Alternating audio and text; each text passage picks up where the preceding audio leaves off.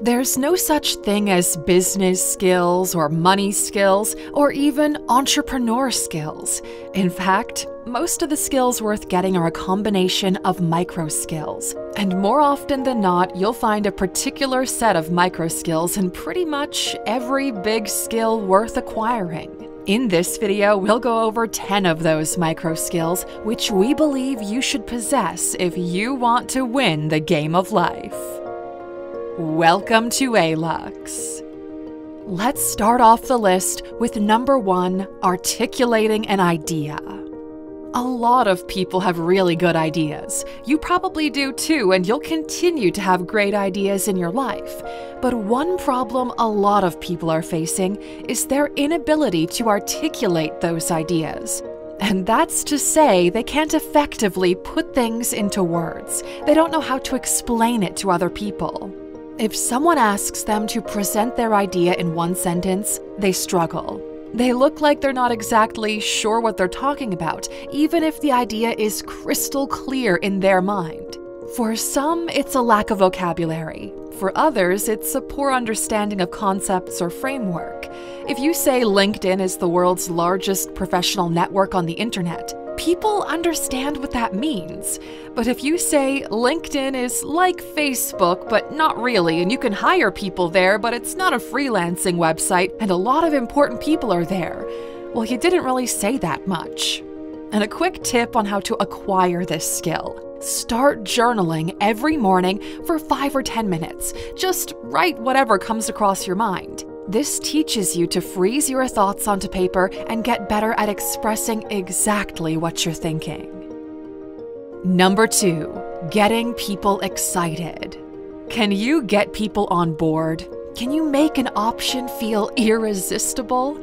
You've probably been in the presence of someone who, no matter what they propose, it sounds exciting. And even when it doesn't turn out to be that exciting, you still don't regret doing it. You somehow find a way to justify agreeing with it. The micro skill of getting people excited is mandatory for any person that needs to lead. Team leaders need to get their coworkers to move. Managers need to get their team leaders to act. CEOs need to make the managers perform. Look at anyone in an executive position and you'll find this micro skill present.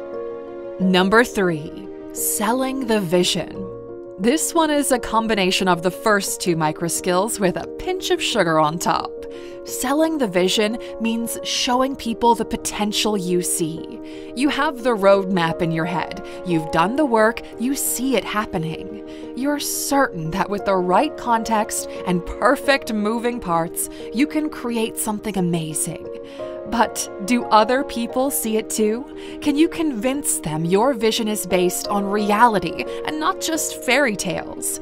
At the end of the day, you can only go so far alone, and if you can't sell your vision to other people, you won't go that far. Number 4 Casual Networking. We can't stress enough the importance of networking. We've talked about it countless times, but many people, they've got problems starting their network. Some people think that networking means going to big events, slap a name tag on you, and introduce yourself to as many people as possible. We've seen it happen countless times, and it's not that likely to get you anywhere. If you have no idea how to start your network, do this. Reconnect with people you've lost touch with without asking for anything. Then, introduce people to each other. It's really that simple. You may have a friend who's now a lawyer and you haven't spoken to her in ages. You may have another friend who needs some legal advice. You ask them individually if they want to be introduced to each other, and then you do it. You now know someone who you've helped in a situation and someone to whom you've given a client. This is usually how casual networking works. Number 5. Giving a little more than you take. You may ask yourself, why would I put myself in a position where people can take advantage of me? The answer is that people worth doing business with, they won't do that.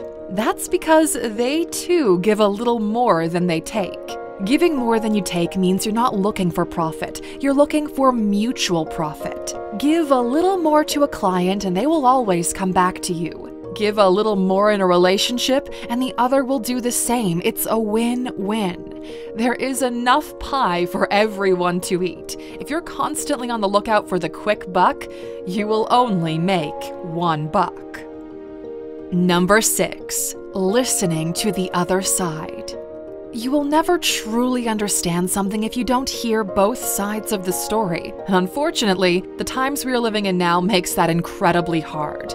Social media feeds you content that you agree with. If you believe the sun will explode next year, well, that's what you'll see online. If you believe everyone got rich from some questionable crypto project, well, you'll only see that. That's a surefire way to get stuck in a bubble and you have no idea how the world works. For everything you're researching, make a conscious decision to listen to the other side as well. It may wake you up to reality or further convince you of your beliefs, but you've got to take a look at both sides to see the full picture. Number 7. Focus bursts. People spend eight hours in offices, but around three hours actually working. Most of the time is spent waiting for something else, meetings, or your break. Nobody actually works eight hours straight on demanding tasks. Your brain can't handle that without massive losses in concentration and ability. The most creative and demanding tasks deplete your energy in about two to three hours. You need to be aware of that and give it your full energy. If you manage to focus 100% for two hours every day, you'll get more things done than most people ever will in an office. Number 8. Googling. And by this we mean searching for reliable and pertinent information. Do you have any idea how many people are terrible at finding reliable information online? You could have avoided countless mistakes if you just Googled it properly. But this is such a simple micro skill that many people lack. It's impossible for someone to know everything about anything. But people get the impression that if they don't know something and have to Google it, that it makes them a fraud. Go ask programmers what's one of the most overlooked skills a coder should have. Smart people, they don't have all of the information, but they do know where and how to find it. Number 9 Handling rejection. Your negotiations went poorly. Your date laughed in your face. Your promotion ended up in a demotion. People get rejected all the time and they have such a hard time dealing with it. Eventually, many end up avoiding any kind of interaction so they don't end up feeling rejected again. Now, we could tell you that X entrepreneur was rejected 100 times before getting one deal and all that stuff, but we've got a better story for you. The story goes like this, and this actually happened. A freelance writer decided to run a little experiment. He rewrote an entire book that won the National Award in 1969. All he changed was basically the name of the author. He then submitted the book to a number of publications, including the one who published the original. And guess what happened? all of them rejected the book. Now, mind you, the original won the National Book Award. The lesson from this is that often people reject you not because you're stupid or your product is dumb. They do it because they don't have all of the information. They don't get it, or they themselves are kinda stupid. Everyone has their own problems to deal with. It doesn't make you any less. Number 10. How to fake your way into a room. We saved the best for last, Aluxer? You might be the best at what you're doing. You may have the right solution to everyone's problem. You have the answer people are looking for. But that doesn't mean that people will start knocking on your door. Often you need to give the door a little push.